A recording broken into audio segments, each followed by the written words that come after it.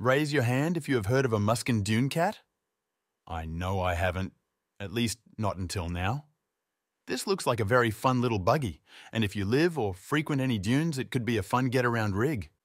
Judging by the little research that I did, I don't think that there is any profit to be had, only fun and smiles. And who can put a price on those?